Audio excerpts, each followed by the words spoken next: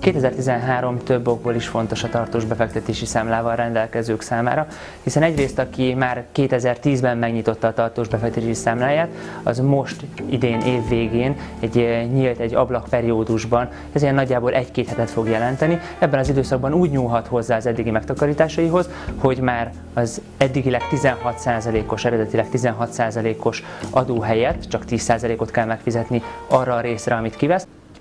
Másrészt ugye egy ilyen plusz lehetősége is van, hogyha most dönt róla év végén, mondok valamit, mondjuk a 10-20%-át ki szeretné venni ennek a pénznek, akkor ezt úgy teheti meg, hogy a többi az továbbra is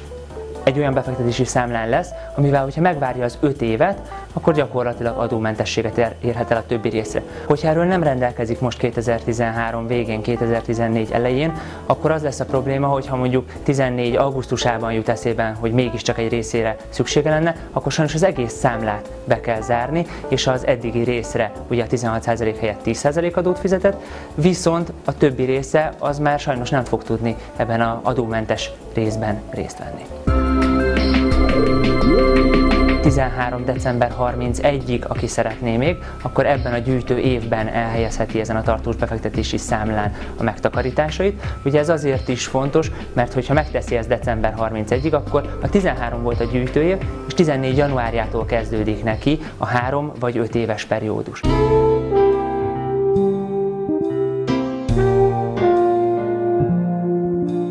Kiemelném azt is, hogy ugye itt, aki elhelyezi a pénzét, az nem egy termék mellett teszi le a voksát, hiszen gyakorlatilag ezen a számlán e, bármilyen e, termékek megvásárolhatók, nem csak forintos, hanem más devizában, akár euróban vagy dollárban denominált termékek is, és nem csak kötvény, részvény, hanem akár befektetési jegy is, vagy akár devizapozíciókat is fölvehet, tehát nagyon rugalmas befektetés ez, egyedül csak az időtartamban nem rugalmas.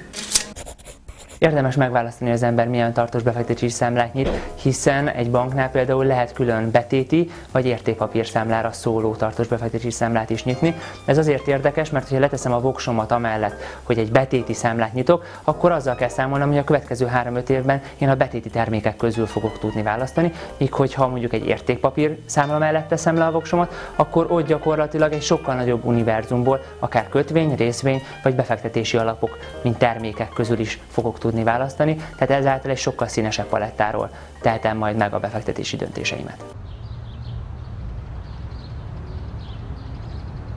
Nagyon érdemes megfigyelni azt, és odafigyelni arra, hogy kinél nyitom meg a tartós befektetési számlámat, hiszen ez jelenleg nem hordozható. Tehát a nyugdíjelőtakarékossági számlával ellentétben, ezt hogyha megnyitom egy szolgáltatónál, akkor ott kell befektetnem a következő évben, ezért érdemes megnézni azt, hogy milyen szolgáltatásokat, milyen termékeket fogok elérni ezen a számlán, hiszen a következő év, öt évben ilyen szempontból meg lesz kötve a kezem.